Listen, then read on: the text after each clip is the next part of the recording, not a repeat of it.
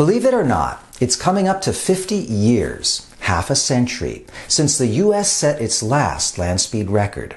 October 23, 1970.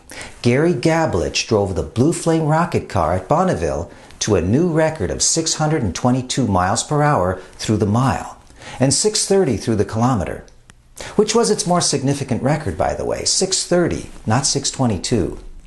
The Blue Flame was in fact the first car to officially break 1,000 kilometers per hour. I thought I'd make a little video series to recognize this achievement, kind of a 50th anniversary Blue Flame special. One of the key founding members of the project, Dick Keller, has sent me a whole treasure trove of material documents, photos, inside information, and some cool film. So you don't want to miss this one. Okay, so to kick things off, we're going back to the beginning, to an ahead of its time rocket dragster that was the predecessor to the Blue Flame. It was called the X1. It was the world's first liquid fuel rocket car. That's coming up. Before we get going, please subscribe to this channel if you haven't already done so. And if you're already on board, thank you. Okay, let's roll.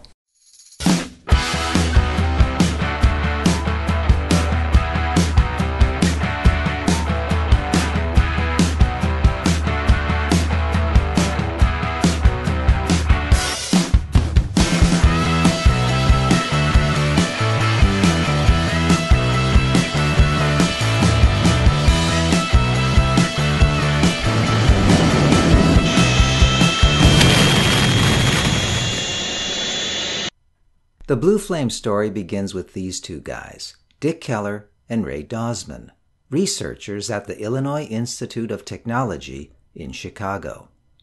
It's 1964, and the land speed battle at Bonneville between Craig Breedlove and Art Arfons has been making headlines. So the speed record is a topic of conversation for Dick Keller and Ray Dausman during their lunch break. Being researchers, chemical engineers, they start talking about how you could build the perfect land speed car. A car that could blow even Art Arfons and Craig Breedlove's jet cars away. And they hit on the idea of using a rocket, a land speed car powered by a liquid fuel rocket. There had been solid fuel rocket cars before, notably the Opel Rak 1 and Rak 2 in Germany back in the late 1920s. But there'd never been a liquid fuel rocket car. What Dick and Ray had in mind would be the first. The key difference was that a liquid fuel rocket can be controlled. You can turn it on and off, throttle it up and down. You can't do that with a solid fuel rocket. You set off a solid fuel rocket, and it's blasting you along until it burns out. To test their idea, Dick Keller and Ray Dausman fabricated a tiny 3 inch long rocket, a monopropellant rocket that ran on 90% concentrated hydrogen peroxide. It performed beautifully when they tested it out in late 1964, generating 25 pounds of thrust according to the bathroom scales they hooked it up to. With the data they collected, Dick and Ray wrote a paper Development of a Land Speed Vehicle of Mach 1 Capability. They gave a presentation to some tire and chemical industry representatives, hoping to get a sponsor to back the project and get the car built. The response was positive.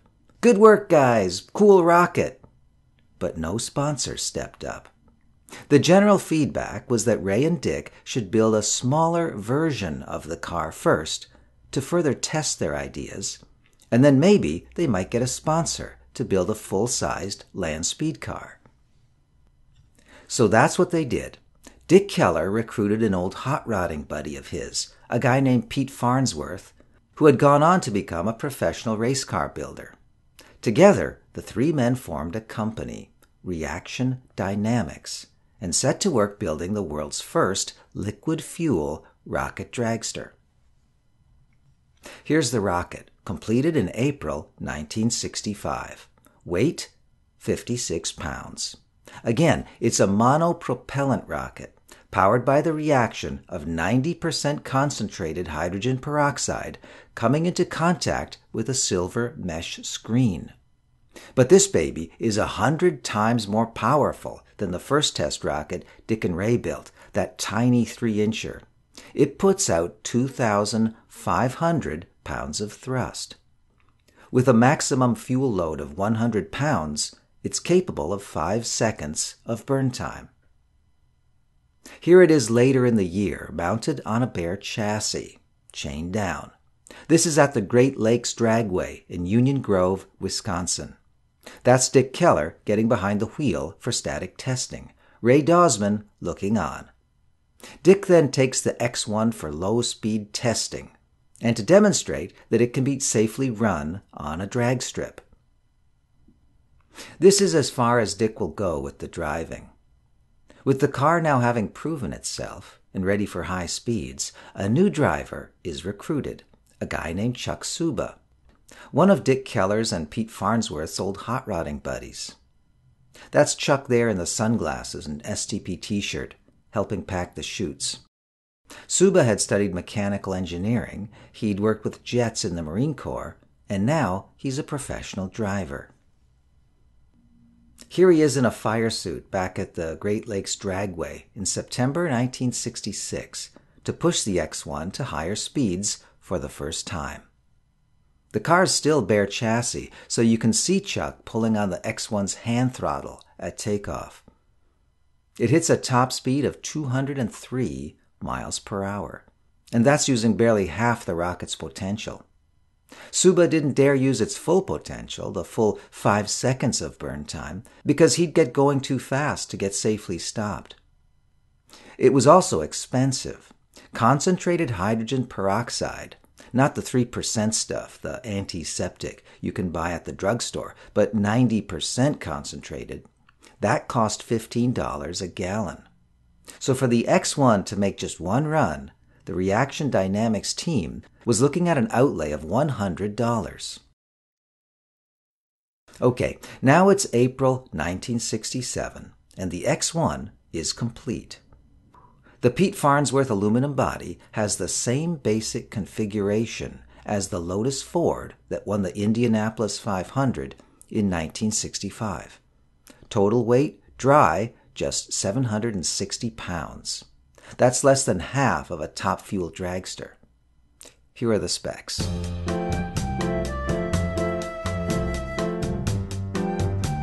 The Reaction Dynamics team starts taking the X1 around to the drag strips to show what it can do.